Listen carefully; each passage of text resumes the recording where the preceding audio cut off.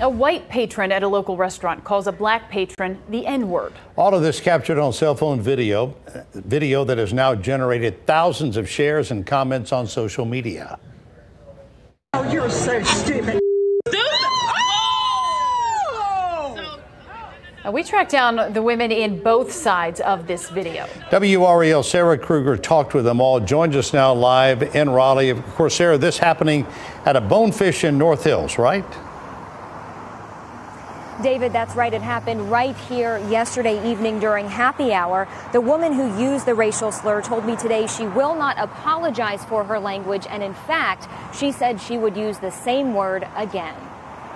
Like everybody. This minute long cell phone video shows an encounter between customers at the Bonefish Grill in North Hills. This person had the audacity right here to come to our table and tell us that we are the rudest people that she has ever met. Look. Then the woman, who we now know is Nancy Goodman, calls another customer the N word. You're too loud. We're too In loud. your opinion. In your opinion. Let me show you my money. It's just as green as yours. Right. Oh, you're so stupid.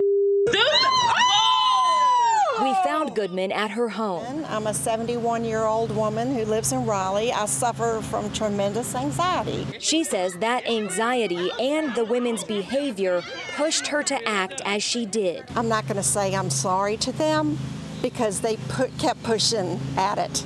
So, and that's all I'd really like What to say. What about your use of the N word? I used that word because they forced me into it. Do you see how that's incredibly offensive? Yes, I do. That's why I said it. I would say it again to them. She says she would use that word again to you all. Wow. Wow. That's sad. Chanda Stewart is the one who took the cell phone video. Her friend, Lakesha Shaw, is the one who was called the racial slur. I don't care how you feel like we should have been acting. If I was standing on the table with three heads in a purple jumpsuit, nothing justified you to come to my table and call me a stupid. Goodman says she regrets not asking management to tell the women to be quiet, but she made one thing clear. So you're not sorry about saying the N word? No, no.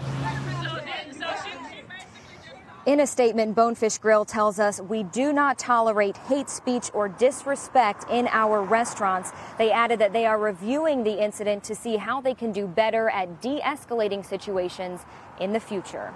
David. Sarah Krueger reporting live in Raleigh. Sarah, thank you.